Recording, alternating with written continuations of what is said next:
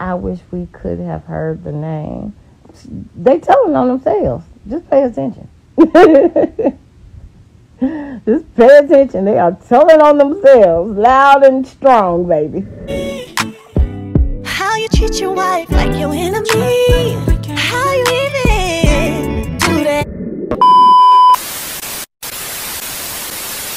Know what's crazy about Saturday's episode of Love and Marriage Huntsville Sex, Lies, and Videotapes is I, I think that's the name of the title. Is a few seasons ago, Latisha Scott, Latisha Denise Scott told us that she needed proof that her husband was cheating. And here it is. It may you may not like the messenger who's presenting this information to you, right? We know that Keke is into it with Latisha and Latisha is into it with Keke. However you want to look at it, they're not friends. They're not cool. They're cousins, but they don't want to fool with each other.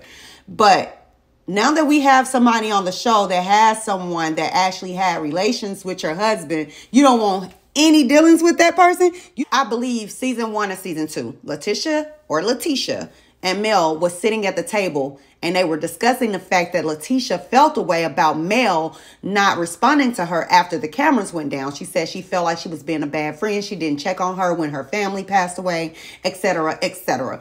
And she also, in the same breath, asked Mel if she felt like something was going on between her and Marcel. Actually, it was a um, it was some rumors circulating about Marcel around this time. And Latisha asked um, Mel, why didn't she tell him? And to ask Martell to stop lying on Marcel. And Mel said, how do you know that he's lying? How do you know that he's lying? And she said, Well, just because your husband is buying BMWs, um, matching BMWs for his side chicks and what have you around town, doesn't mean that Marcel is cheating. And Mel left it at that. She was like, Well, maybe you need to get up and roll to the bar and see what's going on with your husband. A picture of Marcel laying in the bed with his back towards the camera. That wasn't enough.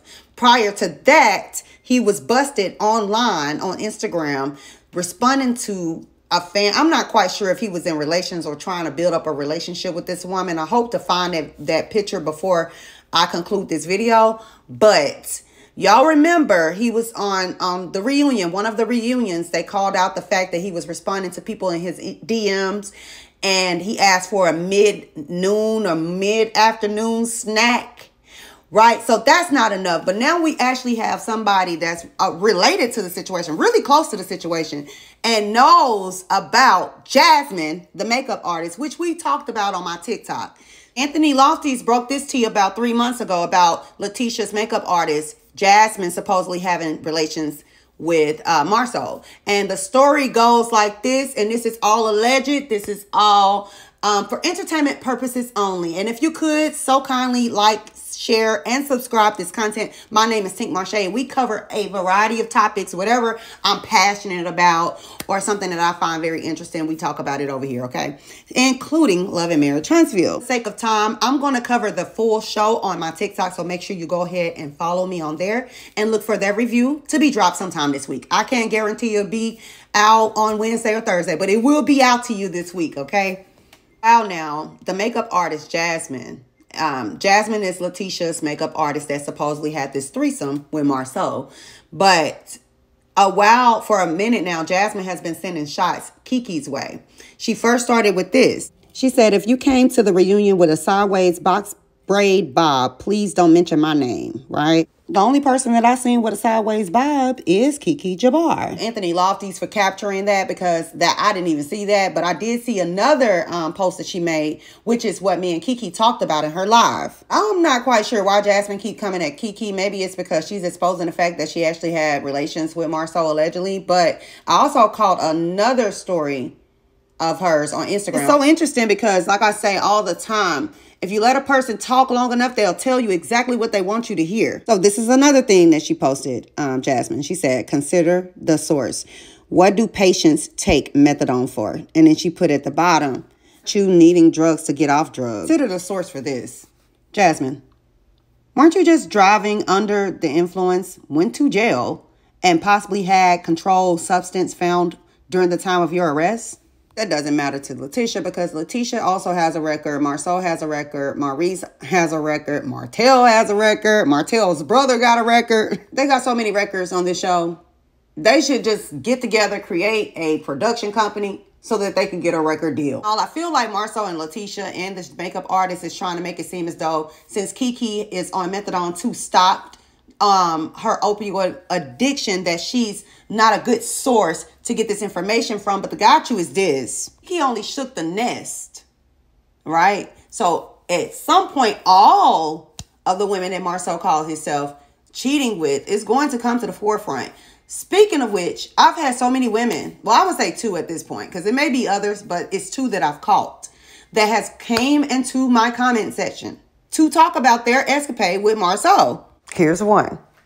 She said, he is a fucking joke. He and I talked the entire summer of 2017 and 2018. He was married. He told me a different name and told me he was. That's off right there. But I did send her a DM so she could tell me more.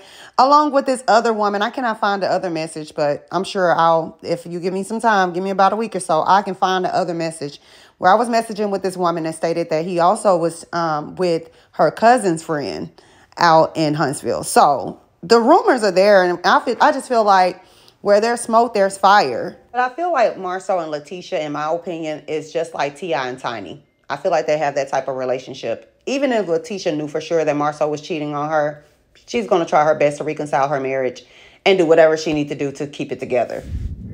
Marsau bought you a matching Mercedes like his, and you didn't know that Marsau was married. Can you clear up or state your part in any of those things? Uh, well, I'm not Marsau's mistress, okay? Um, I would never ever deliberately um, try to um, mess up anyone's marriage, come between um, anyone's family. Um, that's just not me. I would never ever stand for something like that. Um, of course, um, you know, I can't control what people say. They say what they say.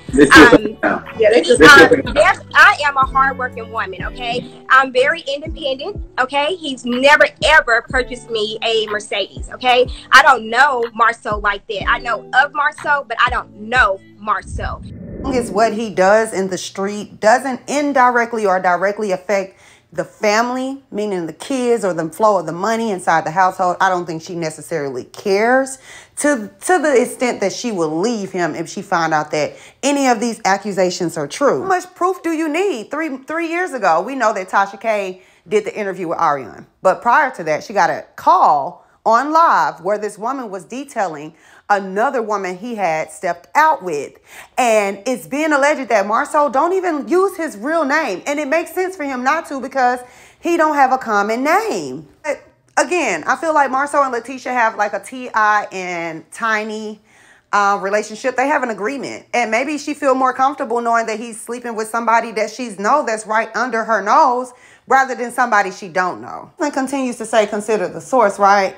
To the fact that she's fabricating stories because she's on methadone, but we could say the same thing about you because you just got arrested for a DUI. Are you drunk? And I really want to know from Jasmine, why should we consider our source with you? We don't even know you. Now for my updated commentary on Stormy Steele, I feel like Stormy Steele and Latisha got together to drag out this storyline between her and her husband because they really don't want to talk about the issues that they're having in court right now. We got to go over the reviews of Stormy Steele's business. We have to do an updated video on Shirley Strawberry and her husband Ernesto Williams. But on your way out, make sure you hit that like button, that subscribe button, and make sure you comment below. It's Tink Marshae, and I'm something like a big deal. Did I say that right? It's connected. Um, boring until the end. What happened at the end? Your my husband line like always. we dropped the mic about the affair to Lil. Oh, they finally showed that that part.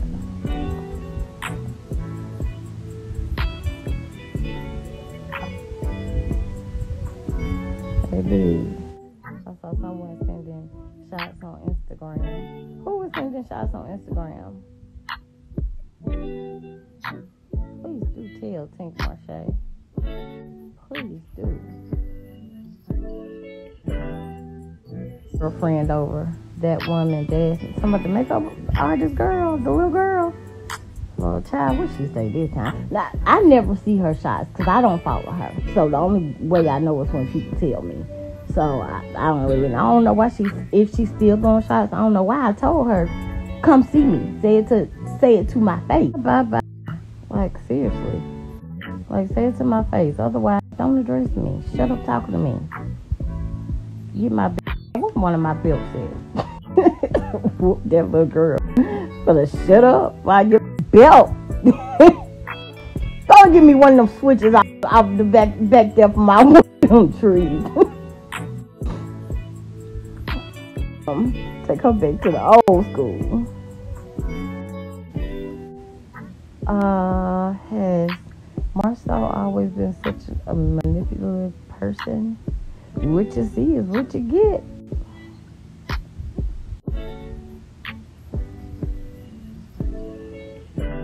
What you see is what you get, baby. I mean, he can manipulate the the uh, the people who are easily manipulated. Let me say that, not the people who got enough sense not to be manipulated. And that's that. So, for the next episode, I know teaches your cousin, honey. I've been there and done that. I'm writing a book about family and name only. Keep pushing. I get it, girl. How are you overall? I'm good.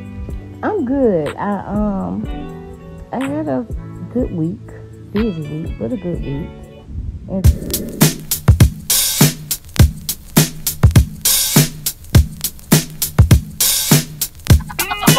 Warning, warning, warning.